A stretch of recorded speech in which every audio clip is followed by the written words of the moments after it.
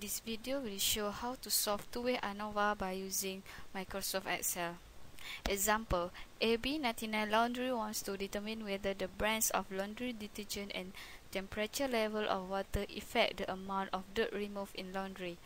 There are there are two brands are used which are brand A and brand B. For the temperature level of water, they use three levels which are cold, warm and hot. The data was shown in table 1.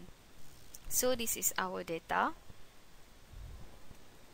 Using 0.05 level of significance, is there has an interaction between factor, breadth of detergent and temperature level of water to the amount of dirt removed in laundry. Is there a difference in brand of detergent affect the amount of dirt removed in laundry? Is there a difference between the temperature level of water affect the amount of dirt removed in laundry? This is our hypothesis. Hypothesis 1. H null, there is no significant difference between means of the type of brand with the amount of dirt removed in laundry. Hypothesis 2, which has null, there is no significant difference between mean of the level of temperatures water with the amount of dirt removed in laundry. And hypothesis 3, with H null, there is no interaction between factor, the breadth of detergent, and the temperature level of water with the amount of dirt removed in laundry. Now, I will show how to solve the example by using Microsoft Excel. First, key in the data as follow. Then, go to the data and click data analysis. Choose ANOVA 2 factor with replication and click OK.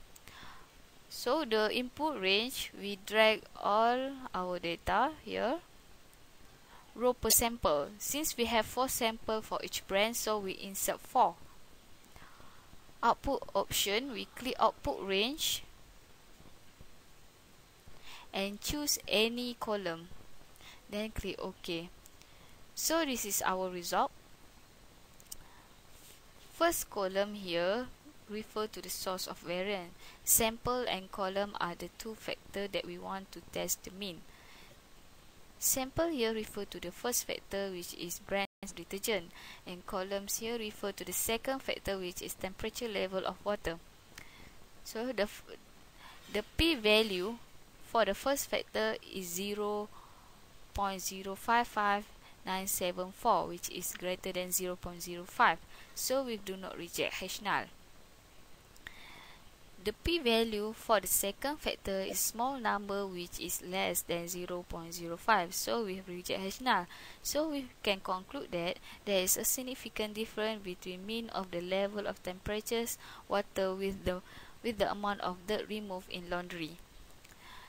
And the p-value for the interact interaction is 0.032415 that it, uh, the which is less than 0.05 so we reject H null. Then we can conclude that there is an interaction between factor with the amount of dirt removed in laundry. That's all. Thank you